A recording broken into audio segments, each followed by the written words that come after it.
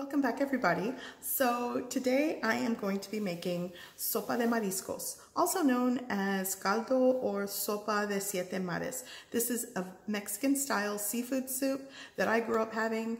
It's delicious and it's perfect for a cold and rainy day like today. I'm not sure what the weather's like where you are at, but today it is just damp, cold, and rainy. So this will definitely warm us up for dinner. Here's how I do it.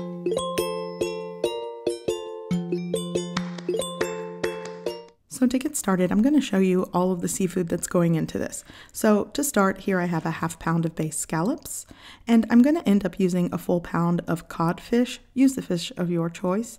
Here I have a half pound of Dungeness crab legs, and I'm also going to be using a half pound of seafood mix. I picked this up from my local seafood market.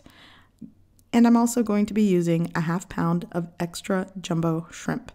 And I did remove the shells and I reserved it because I'm going to use the shrimp shells to make a broth.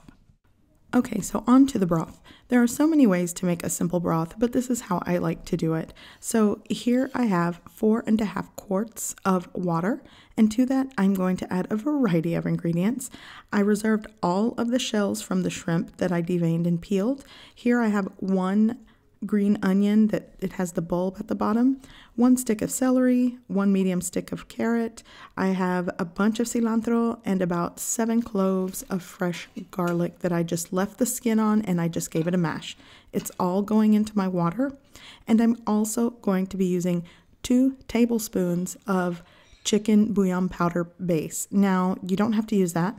You could just use salt at some point, or you don't have to season the broth right now and just salt your soup later. But I like the flavor that the bouillon gives the broth. So I'm going to turn my heat on and I'm going to bring my pot of water and ingredients to a rolling boil. And once it starts to boil, I'm going to put it on a medium heat, cover it with a lid, and let it gently simmer for about 30 to 45 minutes. Then I'm going to strain the broth to remove all of the shrimp shells and ingredients. And you are left with a very flavorful broth to start your soup. And I am ultimately going to use around three quarts of this broth in the soup. So there are various ways that I make this soup. Sometimes I like to add potatoes, corn, carrot, and zucchini to make it a bit heartier. So at this point, you'd probably want to add your potatoes and carrots. Let it simmer and cook for about 15 minutes, then add zucchini and fresh ears of corn. Let it continue cooking for five minutes. Then you're going to add the rest of your seafood and other ingredients. But I'm not adding those today. So, here to my broth, I am going to just add a half cup or four ounces of tomato puree. I'm also going to add one tablespoon of Louisiana hot sauce. You can use something like Tabasco sauce, Valentina sauce, Cholula, the hot sauce of your choice. I like Louisiana hot sauce. So I'm going to give that a mix. And here at this point, you'll want to taste it for things like salt, or if you want to use more of that chicken powder base, add a little bit more.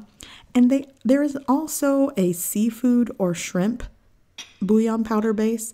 You can definitely use that but I like to use the chicken. So now I'm going to just add salt to taste. I'm using a sea salt with this. I'm going to give it a mix and I'm going to bring this up to a simmer. Once your broth is simmering, you're going to want to start adding your raw seafood first. The only thing that I have raw is basically my shrimp, scallops, and fish. So I'm going to put those in first. Then I have the seafood mix. The crab legs were already cooked. I'll add that in. So this is all going to go quick just in the matter of seconds, that shrimp already looks like it's cooked. So you don't want to boil your seafood for a long time. It's literally going to take less than five minutes if your broth has already simmered and it's up to a good hot temperature. So I'm going to continue adding all of my seafood. I'm going to give it a mix.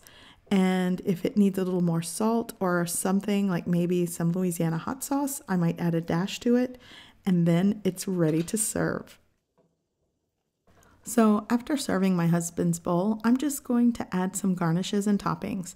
We like to add chopped scallions, fresh cilantro, a squeeze of lime, some fresh avocado, and sometimes I like to add extra hot sauce to this and it's perfect. And then my husband, what he'll do is add a scoop of steamed rice, and this is a light, refreshing, warm, and possibly hearty soup all in one. It's so delicious, you guys, especially when it's cold and rainy outside. So I hope you give this recipe a try. I hope you like it, and thanks for watching.